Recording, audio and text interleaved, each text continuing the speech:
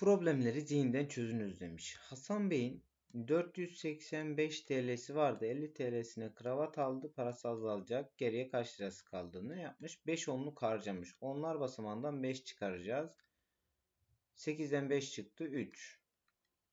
Diğer rakamları aynen yazdık. Burcu Hanım'ın 569 TL'si e, TL'ye manto, 200 TL'ye ayakkabı aldı. Mantonun ayakkabıdan ne kadar fazla olduğunu soruyor bize. 200'ü çıkaracağız. Yani 200'lük çıkaracağız. Yüzler basamağından 2 çıkardığımız zaman 5'ten 2 çıktı 3.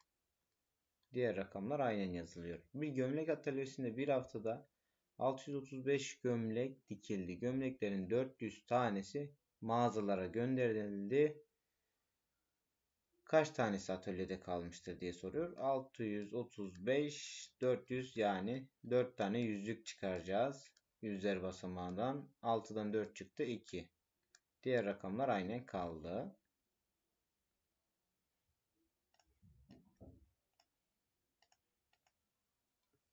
Bir pastane 324 tane poğaça üretti. Poğaçalardan 70 tane sabah kahvaltısında tüketildi. Geriye kaç tane kaldı diyor. 70.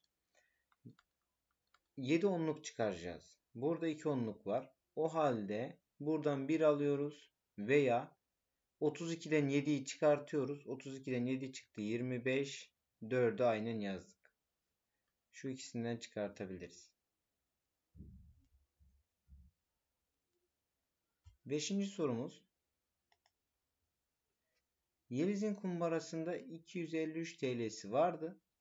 Yeliz kumbarasından aldığı 80 TL ile bir oyuncak aldı. Kumbarasında kaç TL'si kaldı? 253 eksi 80. Burada onluk kısmından direkt çıkartamıyorsak bu ikisinden direkt çıkartıyoruz ve 3'ü aynen sona yazıyoruz. 25'ten 8 çıktı 17. 173. Bir markette 950 kutu süt vardı. Kut sütlerden 500 tanesi satıldı. 950 eksi 500.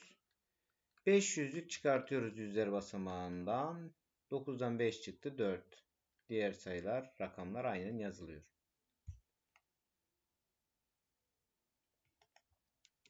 İşlemleri zihinden yapın demiş. 2 onluk çıkartıyoruz.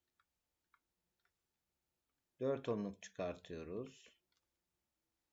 2 onluk çıkartıyoruz. Şimdi buradan 65'ten çıkartıyoruz. 59 3 65'ten 5 çıkardık.